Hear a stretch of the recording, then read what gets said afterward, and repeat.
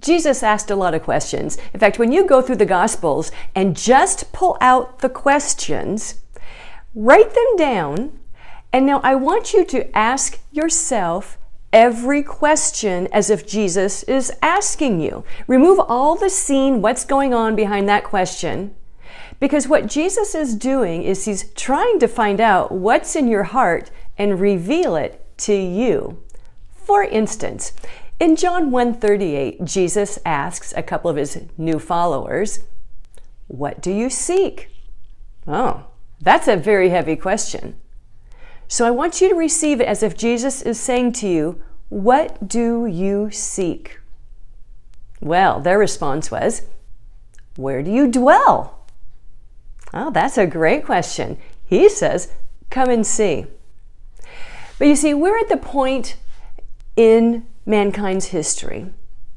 It is really time to start doing some deep soul searching. And that is especially important for this side of the pre trib rapture of the bride, because we don't want any of us to be blindsided. Jesus does not want you to be blindsided. So he is asking you questions, and he's wanting you to really think about them and give a sincere and heartfelt answer.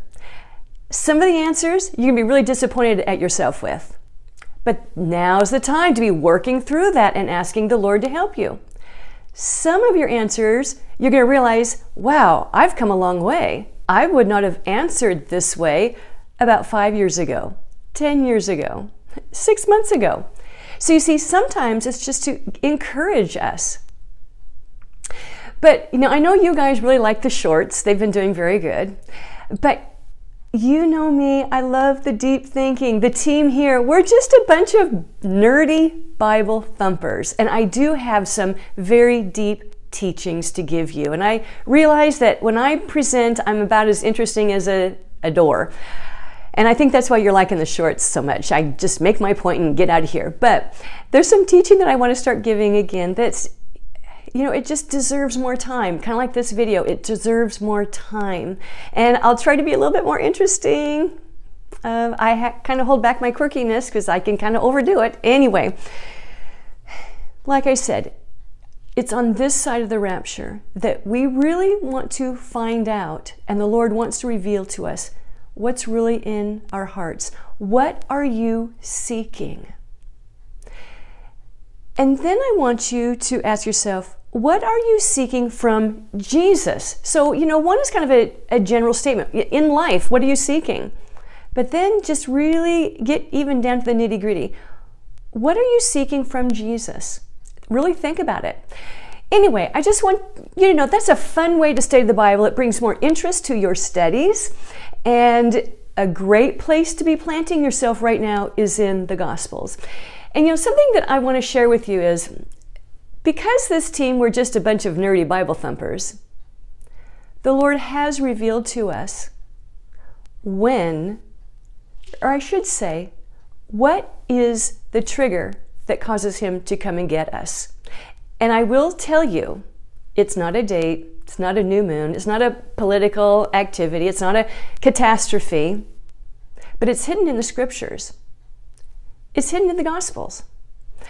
Now, have had you been looking at all my videos, I've been leaving hints. So any one of you uh, could just go back and listen to videos and you'll be getting hints. Now I've withheld some of the information because if you knew what that trigger was, you would just sit on your haunches and you wouldn't be about our Father's business. But if you prayerfully seek the Lord, you will know why He has waited, what He is watching for and you'll know what is going to cause him, what the catalyst will be for him to come and get us. Anyways, I'm not trying to be mysterious, I'm not trying to be clickbait.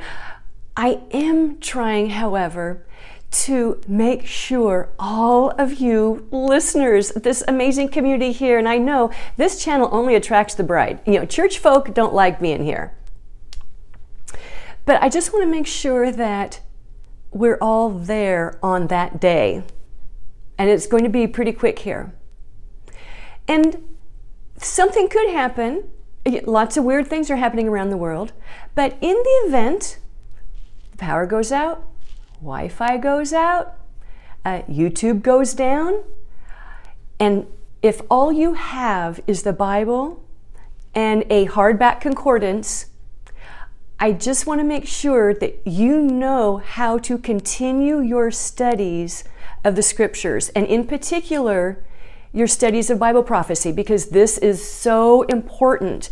And many people are being deceived right now because they don't know Bible prophecy. They don't, they have not known what to be looking for you know, we don't know specifically, you know, right down to the minute detail, detail, you know, what to be looking for, but we have a good enough general idea through studying the scriptures of the things that we should be on the alert for so that a red flag goes up in our spirit. I'll try to make my videos where I make fewer points so that they're shorter because I know you do like that. And I'll talk to you later.